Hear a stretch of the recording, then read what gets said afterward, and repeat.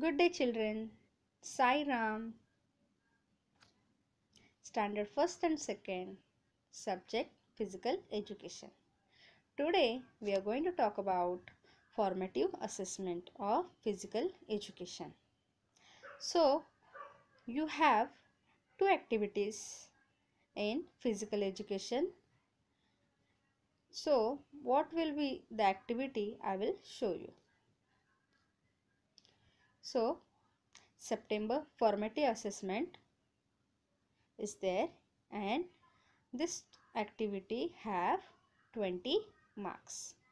So, whatever I will give you the activity that you have to complete neat and clean so that you will get full marks. If you will not do properly then your marks will be reduced. So, do it nicely. So, our first page will be name, standard, division, roll number and SID number. This is our first page. First finish this page and then we will start our topic. What is our topic? Stick pictures of any three indoor games.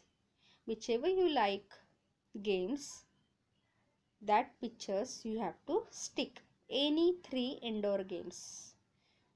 So which uh, games you like that games picture you will stick. I'll show you chess. This is also indoor game. So you can put pick of chess or anything else which you like? So i put picture of chess carom.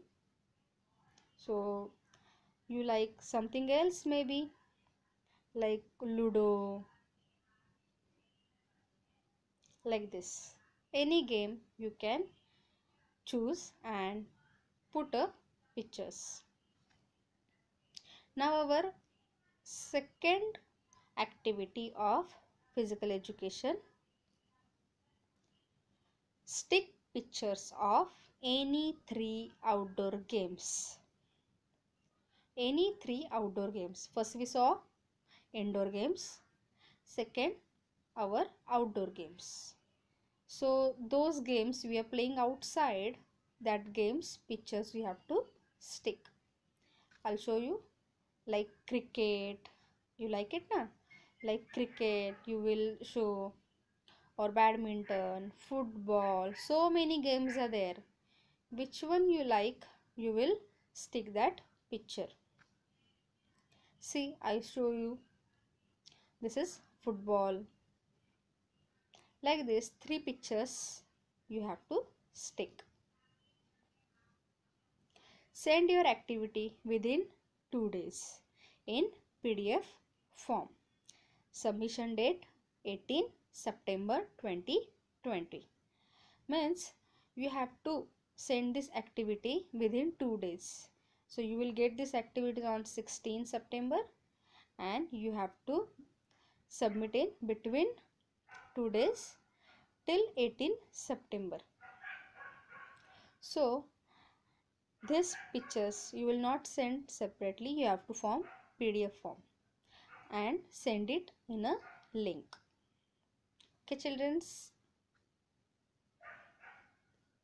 Thank you